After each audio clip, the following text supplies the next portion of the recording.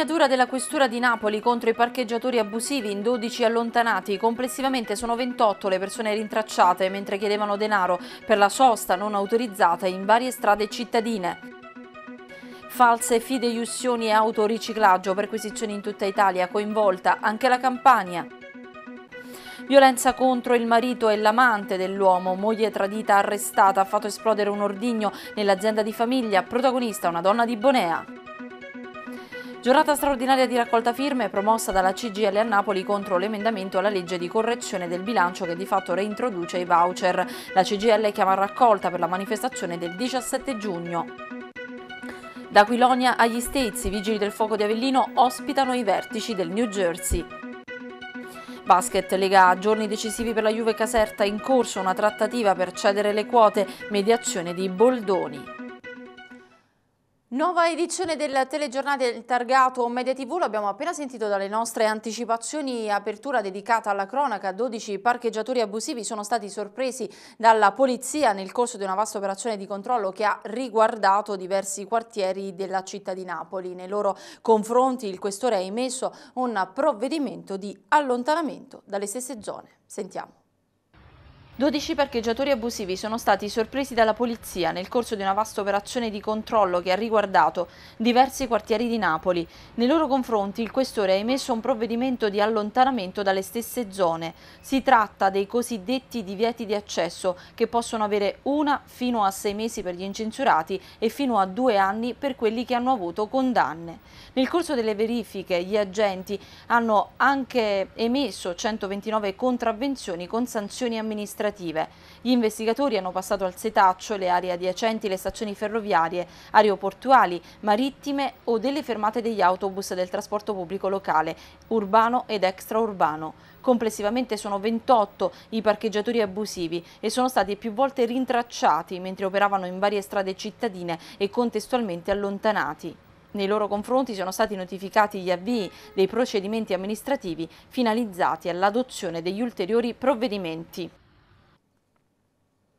Un uomo di 35 anni, residente del Colano, è stato ferito a colpi d'arma da fuoco la scorsa notte nei pressi dell'uscita del centro direzionale a Napoli della strada 162. Il 35enne ha eh, riferito che mentre a bordo della sua auto è stato affiancato da uno sconosciuto che ha esploso un sol colpo di pistola. Ferito ad una gamba si è recato subito dopo all'ospedale Villa Betania di Ponticelli dove è stato medicato. Guarirà in 20 giorni, indaga la polizia.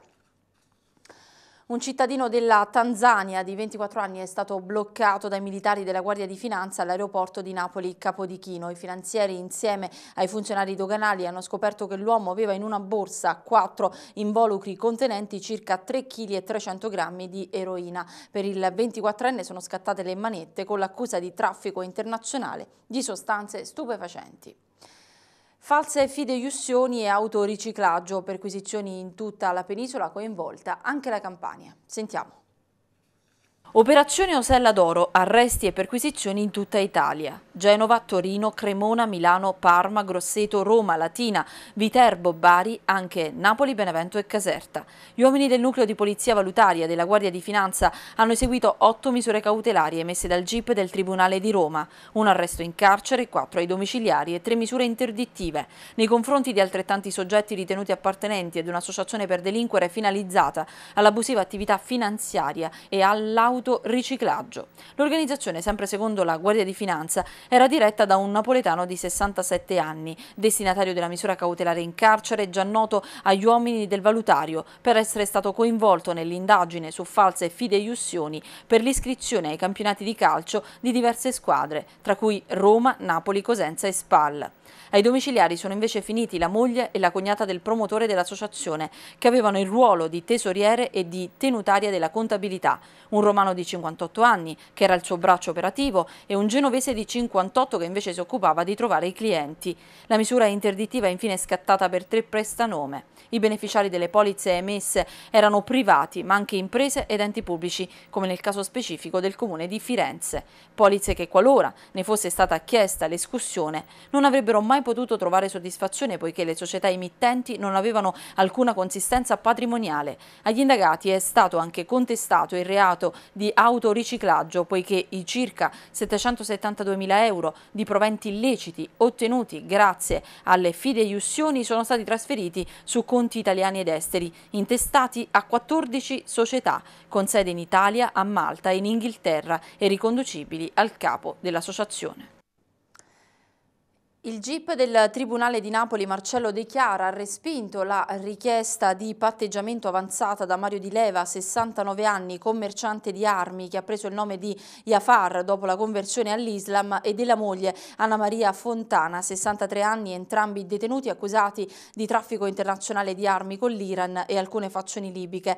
Il giudice non ha ritenuta congrua la pena rispettivamente 3 anni e 2 anni e 8 mesi di reclusione che gli imputati avevano concordato con la procura procura a conclusione dell'inchiesta. A quanto si è appreso i difensori intendono eh, riproporre una nuova richiesta di patteggiamento in occasione del dibattimento. Nel corso di perquisizioni effettuate in un rione di Torre Annunziata, i carabinieri della compagnia, insieme al nucleo cinofili di Sarno, hanno rinvenuto un fucile sovrapposto con matricola a brasa, 45 cartucce di vario calibro ed una bilancino di precisione. Il tutto era in un borsone sportivo nascosto in una botola ricavata sul soffitto di un appartamento abbandonato. L'arma sarà oggetto di indagini balistiche. Occupazione abusiva di demanio marittimo e questo il reato contestato al titolare di una struttura balneare situata sulla spiaggia dei Maronti, Barano di Ischia, dagli uomini della Guardia Costiera di Ischia che oggi hanno eseguito l'ordinanza di sequestro preventivo della struttura disposta dal GIP del Tribunale di Napoli su richiesta della quinta sezione della Procura della Repubblica. È stata quindi accertata l'occupazione abusiva senza titolo di un'area del demanio marittimo pari a 71 metri quadrati, ulteriore rispetto a quella oggetto oggetto della concessione demaniale marittima rilasciata dal comune di Barano. Violenza contro il marito e l'amante dell'uomo. Una moglie tradita è stata arrestata dai carabinieri, protagonista una donna di Bonea. Sentiamo i dettagli. Pur di non vedere distrutto il suo matrimonio, una moglie tradita ha cercato in ogni modo di convincere il marito a troncare la relazione con l'amante, prima incendiandogli l'auto, poi facendo esplodere un ordigno nell'azienda di famiglia. Ma i carabinieri del nucleo investigativo di Benevento l'hanno scoperta ed arrestata. Ora si trova ai domiciliari. Protagonista della vicenda, una donna di Bonea. Gli attentati incendiari risalgono allo scorso mese di gennaio. In particolare il primo episodio delittuoso è stato perpetrato il 6 gennaio 2017 a Salaucio del Sagno, ai danni di due autovetture in uso rispettivamente al marito dell'arrestata e ad una 32enne del luogo con danneggiamento di entrambi i mezzi con un incendio doloso. Il secondo evento, di natura dinamitarda, ha avuto luogo il 14 gennaio 2017 all'interno di un agriturismo di Bonea, di proprietà della famiglia del marito della donna arrestata. A seguito delle investigazioni condotte anche con l'ausilio di attività tecniche, è stato accertato che entrambi gli episodi erano riconducibili alla volontà punitiva della donna nei confronti del marito, che l'aveva abbandonata insieme ai figli per andare a vivere con una giovane donna. Da allora i militari hanno lavorato su più piste, non esclusa appunto quella passionale. La donna tradita è accusata di violenza privata e porto abusivo di ordigno esplosivo. Movimentato inseguimento nella notte in pieno centro città ad Avellino che si è concluso con l'arresto di tre persone che avevano appena svaligiato tre appartamenti di un condominio di Via Piave mentre i proprietari dormivano. Gli agenti della squadra volante della questura sono intervenuti su segnalazione di un passante che aveva notato i tre, tutti originari di Eboli, scendere in strada attraverso le condutture esterne del gas. La fuga è durata poco i tre sono stati bloccati ed arrestati. L'intera refurtiva consistente in computer, denaro, gioielli, telefoni cellulari è stata restituita ai proprietari. Sorpreso in possesso di droga trentenne della Valle del Calore denunciato dai carabinieri, il controllo a Mugnano del Cardinale, l'immediata perquisizione ha permesso ai militari operanti di rinvenire in suo possesso, nonostante ben occultate, varie dosi di hashish per un peso totale di circa 20 grammi. Di notte in giro con una mazza da baseball, due giovani di Avellino sono stati denunciati dai militari, si tratta di un ragazzo di 25 anni ed un, ed un altro ragazzo di 30 ritenuti responsabili del reato di porto abusivo di strumenti atti ad offendere.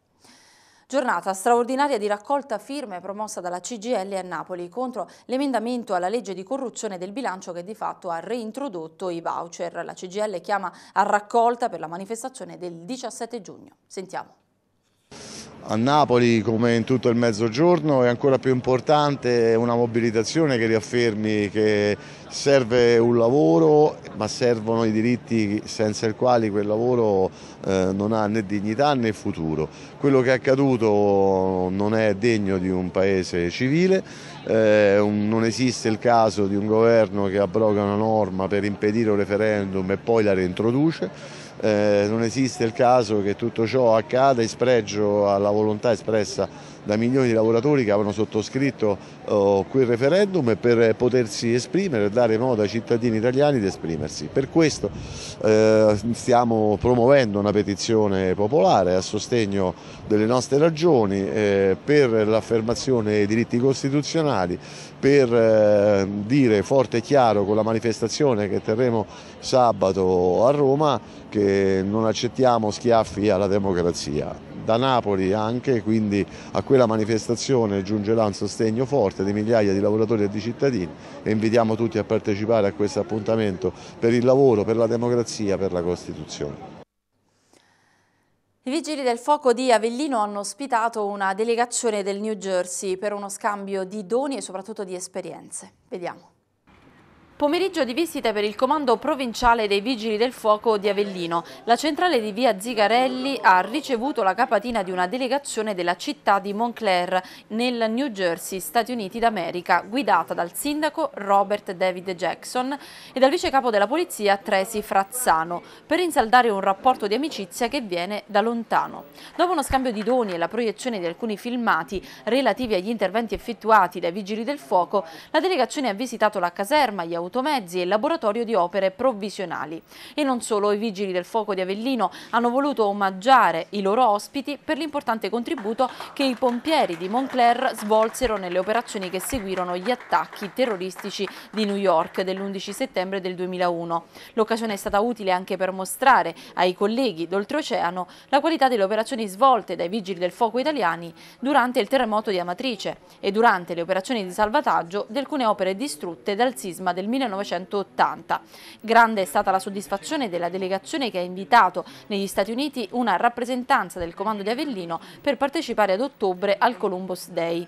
Era il 1917 infatti quando dal piccolo comune di Aquilonia molti partirono alla volta degli States per cercare fortuna ed oggi, ad un secolo esatto di distanza, l'Irpini ha voluto celebrare una ricorrenza che assume immenso valore per le tante generazioni di italiani che attraverso il duro lavoro hanno contribuito a rendere sempre più grande grande il paese che li accolse. Un anno denso di attività fervide, così ha definito l'anno scolastico appena concluso la dirigente dell'Istituto di Istruzione Superiore di Feicchio Castelvenere, Elena Mazzarelli. Sentiamola ai nostri microfoni. È stato un anno denso di attività fervide. Eh, sono tante veramente le iniziative formative che siamo riusciti a realizzare nel corso dell'anno scolastico.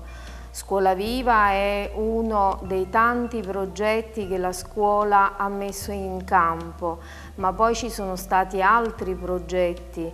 Eh, nell'ambito del polo tecnico formativo ci sono stati progetti di alternanza scuola-lavoro, di esperienze fatte nelle regioni d'Italia, eh, in città molto molto importanti, poi l'ampliamento dell'offerta formativa, concorsi di professionalizzazione, bartender, cake design, intaglio di verdure, moduli anche di approfondimento e di conoscenza delle, di lingue diverse, nuove, eh, come il russo, come lo spagnolo, eh, il tedesco per gli alunni dell'alberghiero dell di Castelvenere, delle classi quinte, che hanno voglia di partecipare eh, al progetto EURES eh, del Centro per l'Impiego di Benevento evento grazie al quale possono eh, accedere a domande di lavoro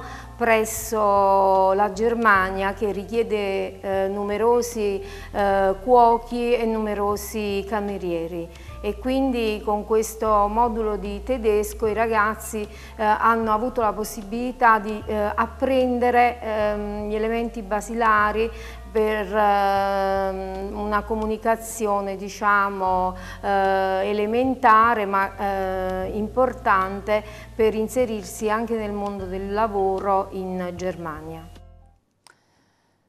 Fisco e Scuola, l'Agenzia delle Entrate ha premiato le scuole vincitrici, il concorso giunge alla sua quinta edizione ha premiato due video e due manifesti e dei manifesti. Sentiamo. Premiati nella sede dell'Agenzia regionale delle entrate in Campania i vincitori del concorso Fisco e Scuola promosso dalla direzione regionale in accordo col MIUR. L'iniziativa è giunta alla sua quinta edizione e ha premiato per l'anno scolastico 2016-2017 due video e numerosi manifesti. Nella sala Enzo De Lucia consegnate le targhe e i riconoscimenti del concorso, nato con l'obiettivo di stimolare negli studenti attraverso una produzione creativa e una sana competizione una riflessione sul tema della legalità fiscale e più in generale sul rispetto delle regole civili, come conferma Cinzia Romagnolo, direttore regionale dell'Agenzia delle Entrate della Campania. L'obiettivo reale di questo concorso è raggiungere con un messaggio che in qualche modo la crisi può aver annacquato perché la crisi ha portato molte famiglie ad avere dei disagi in termini di afflusso reddituale si può perdere il senso di quello che è il prelievo fiscale. Io sono convinta che le scuole molto possano fare perché? perché riescono in qualche modo a rielaborare in modo semplice uno dei principi che sono principi costituzionali, l'articolo 53 della Costituzione dice che tutti dobbiamo contribuire e se siamo società contribuiamo al fabbisogno dello Stato in virtù della nostra capacità contributiva, di quello cioè che possiamo spendere però partecipiamo ai bisogni di tutti che in qualche modo si dipanano in assistenza sanitaria, in trasporti, in servizi e anche nel welfare perché ricordiamoci che welfare in termini anche di cassa integrazioni e di assistenza alle famiglie disagiate viene dalla contribuzione erariale, quindi dalla raccolta delle tasse. Sul podio dei vincitori tre istituti scolastici, uno per ciascun ordine e grado, che hanno saputo meglio interpretare il messaggio educativo del progetto. Per la sezione scuole primarie l'Istituto Comprensivo De Amicis di Succivo, per la categoria scuole secondarie di primo grado l'Istituto Comprensivo Marotta di Napoli, per la sezione scuole secondarie di secondo grado l'Istituto Superiore Siani di Casalnuovo. Una menzione speciale per la creatività è stata inoltre attribuita all'Istituto Comprensivo Giovanni XXIII di Recale. Pagina sportiva Serie A stagione al via il prossimo 20 agosto e mentre si pensa al nuovo campionato si trae un bilancio dei numeri di quello appena trascorso. Sentiamo. 29 sono le vittorie della Juventus in campionato. Nessuno ha fatto meglio dei bianconeri quest'anno in Serie A Team. Il Napoli invece è quella che ne ha perse di meno, 4. La squadra di Maurizio Sarri ha chiuso anche con il miglior attacco e a metterci lo zampino spesso è stato José Maria Callejon, l'uomo assist del torneo, con 12 passaggi decisivi. Da chi innesca i gol a chi li evita. Il portiere con più parate è Gigi Donnarumma con 146 interventi. Il numero 99 del Milan ha chiuso al primo posto anche nel conteggio delle presenze insieme a Francesco Acerbi e Wojciech Szczesny. Sono 38, tutte da titolare per un totale di 3.420 minuti.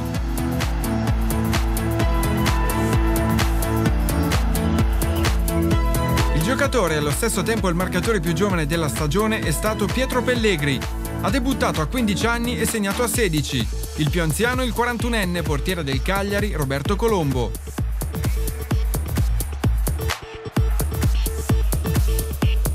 La rosa con l'età media più bassa è quella del Milan, 24,9. Quella con l'età media più alta è quella del Chievo, 31,3.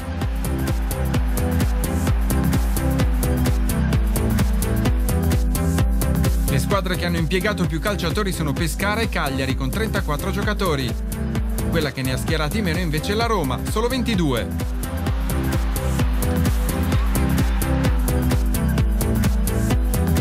57 nazioni rappresentate quest'anno in Serie A Team. La colonia più ampia è quella brasiliana con 34 giocatori, seguono Argentina con 32 e Croazia con 20.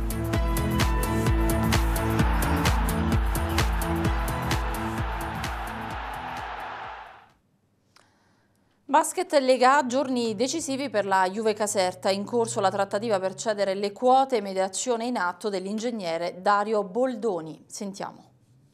Sono giorni decisivi per il futuro della Juve Caserta, società di legati basket, il cui patron Raffaele Iavazzi ha annunciato l'intenzione di voler cedere le quote. Una volontà già espressa nel 2016 al termine della stagione regolare. Poi però Iavazzi non trovò imprenditori disposti ad acquistare le sue quote e decise di andare avanti un altro anno. Oggi però la situazione sembra diversa. Iavazzi ribadisce la sua ferma intenzione di passare la mano, magari restando nella nuova compagine sociale con quote di minoranza non comunque superiori al 20%, ma spiega che sono in fase avanzata trattative per la cessione delle quote ad un gruppo imprenditoriale con la mediazione dell'ingegnere Dario Boldoni e nei prossimi giorni potrebbero esserci novità.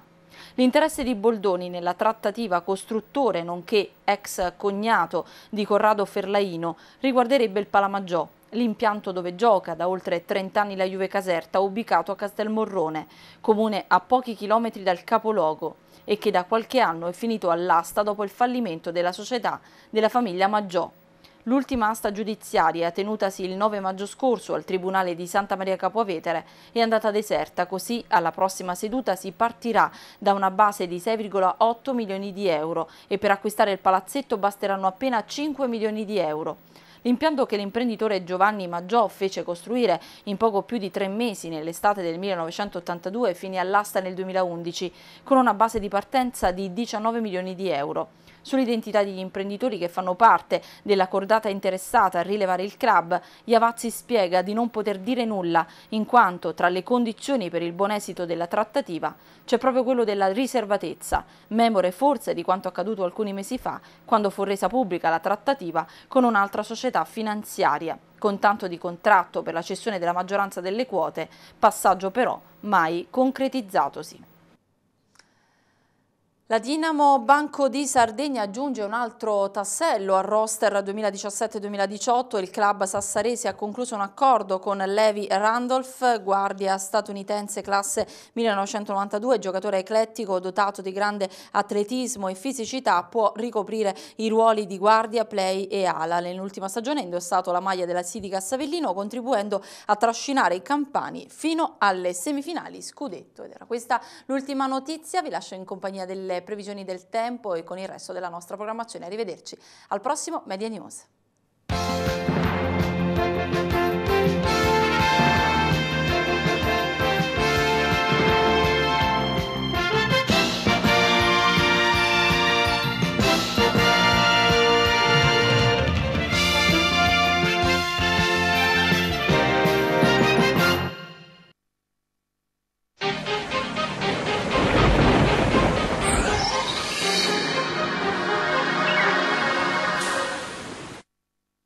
Previsioni per giovedì 15 giugno 2017. Si indebolisce al nord l'anticiclone Giuda a causa di correnti instabili responsabili di un veloce peggioramento pomeridiano. Sempre tanto sole invece al centro-sud. Ecco il dettaglio elaborato da ilmeteo.it. Al nord al mattino deboli piovaschi sparsi sui confini alpini, buono altrove. Nel pomeriggio locali rovesci e temporali su Alpi e Prealpi in locale sconfinamento alle medio-alte pianure. Qualche disturbo anche sull'Emilia Romagna ma migliora ovunque entro sera notte. Al centro sempre stabile e ampiamente soleggiato, il cielo si presenterà sereno sulle regioni peninsulari e sulla Sardegna. Stessa situazione se ci spostiamo ad osservare come sarà il tempo sulle regioni meridionali. Tantissimo sole e cielo limpido ovunque, anche qui. I venti saranno deboli e da direzioni variabili su tutti i bacini. Temperature minime comprese tra i 15 e i 22 gradi su tutte le nostre regioni. Durante il giorno invece prevediamo fino a 33 gradi al nord e punte di 35 gradi al centro e anche al sud.